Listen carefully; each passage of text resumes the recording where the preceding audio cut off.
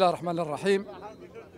آه، حزب العدالة والتنمية وعلى رأسه الأمين العام آه، رئيس الحكومة المكلف سابقا تحمل مسؤوليته بعد انتخابات 7 أكتوبر أن يشكل الأستاذ عبد الكيران الحكومة بمنهج استحضر في المقام الأول مصلحة الدولة ومصلحة المجتمع.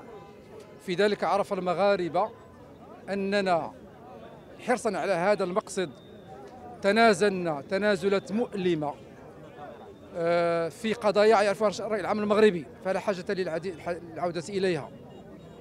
في الوقت الذي لم نرى في الزاوية الأخرى تنازلات تؤكد منطق التوافق ومنطق التعاون المشترك. لا يهم.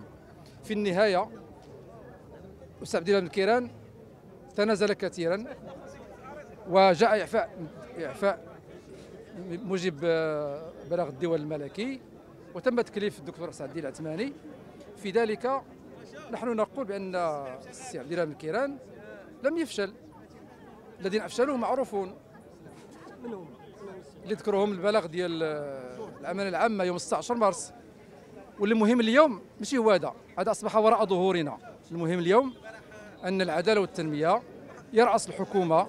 في شخص الدكتور سعد الدين العثماني ورغم مرات اللحظة والقرار الذي تم لكننا قلنا الوطن أولا. في ذلك نحن اليوم وراء حكومة الدكتور سعد الدين العثماني مساندون ومدعمون لكي تنجح في مهامها في هذه المرحلة التي طبعا هي صعبة. والحزب في النهاية هذه المعاشة هو مخاض حقيقي لكنه هو مخاض سينتج إن شاء الله مخرجات من شأنها أن نستمر في في في مهمتنا كعنصر إصلاح في هذا البلد لأننا حزب آه، يعتز بثقة المغاربة فيه. هذه الثقة يجب أن نستجيب لها عاليا من موقع تدبير الشأن العام الترابي والوطني. المرحلة التي جاءت من بعد 15 مارس تفاعلنا معها وقررنا بشأنها ما قررنا. في إطار مؤسساتي اللي هي الأمانة العامة بطريقة مسؤولة وقادنا في تلك الاختيارات الأمين العام نفسه السي عبد الله بن كيران.